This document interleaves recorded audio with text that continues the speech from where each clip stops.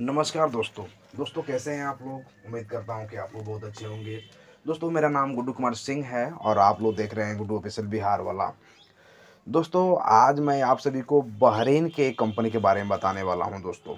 तो दो बहरीन का वो कंपनी का नाम है N A double S S यानी कि नास कंटेक्टिंग कंपनी बहरीन में कैसा है? इसका मैनेजमेंट कैसा है? यह क्या काम कराता है?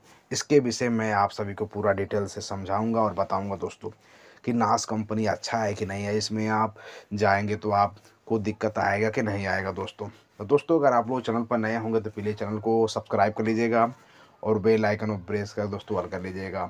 दोस्तों, अगर आप लोग सब चैनल को सब्सक्राइब करके रखेंगे तो सबसे पहले नोटिफिकेशन ऑन करके रखिएगा। तो सबसे पहले मैं जो भी वीडियो डालूँगा तो आपके पास पहुंचेगा दोस्तों। तो दोस्तों, चलिए, बिना देर के आप सभी को नास कंटेक्टिंग कंपनी के बारे में बता देता हूँ। दोस्तों N A double S S company सन उन्नीस में स्टार्ट हुआ था। यानी कि उन्नीस में यह कंपनी स्टार्ट हुआ था। लगभग में इस कंपनी को साठ वर्ष पूरा हो गया है दोस्तों। कंपनी को साठ वर्ष पूरा हो गया है। दोस्तों, इस कंपनी में कम से कम दस हज़ार से ज़्यादा एम्प्लॉय काम करते हैं।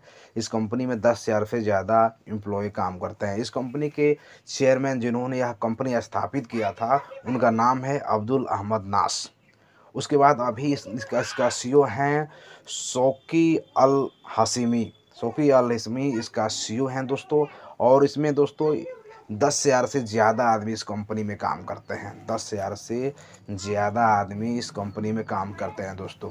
दोस्तों, सबसे बड़ी बात यह है कि इस कंपनी में कि यह कंपनी में दोस्तों टाइम से सैलरी मिल जाता है, जो भी सैलरी होता है, बिल्कुल टाइम से मिल जाता है। सैलरी में चिक चिकबाजी या कुछ भी नहीं रहता है टाइम पर पेमेंट मिलेगा। अगर इंटरव्यू आता है इंडिया में कहीं पर भी इसका तो आप लोग इंटरव्यू देते समय वहाँ पे जो भी इंटरव्यू लेने आएँगे, अगर उनसे आप लोग बात करेंगे कि हमको मेस का खाना चाहिए तो मेस का खाना मिलेगा। और आप लोग अगर अपने हाथ से बनाना खाना, बनाना चाहते हैं तो आप लोग बना के खा सकते हैं। इस कंपनी में दोनों सिस्टम अवेलेबल है दोस्तों। तो दोस्तों, इसमें सैलरी की बात करें तो एक रिकर का एक सौ पचास के डी से एक सौ पचास बी डी यानी कि बहरीनी दिनार होता है। तो एक सौ पचास बहरीनी दिनार से ज़्यादा मिलता है दोस्तों।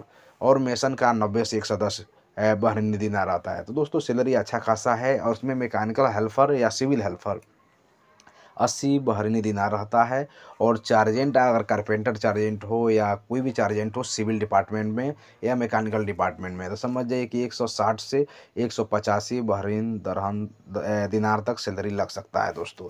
दोस्तों, इसमें खाना मैं आप सभी को बता दिया रहन, इस कंपनी का जो मैनेजमेंट है बिल्कुल बहुत ही अच्छा मैनेजमेंट है, अगर आप लोग इसमें जाते हैं तो बहुत सब, जितना कम, मैंने गवर्नमेंट की तरफ़ से फैसिलिटी आएगा, इसमें सब आप सभी को फैसिलिटी मिलेगा, पूरा इसमें आप सभी को सैलरी भी टाइम से मिलेगा, रूम रहने के लिए अच्छा मिलेगा, रूम रूम मिलेगा, खाना भी अच्छा मिलेगा, सब कुछ आप सभी को इसमें समझ जाइए कि अच्छा मिलेगा दोस्तों।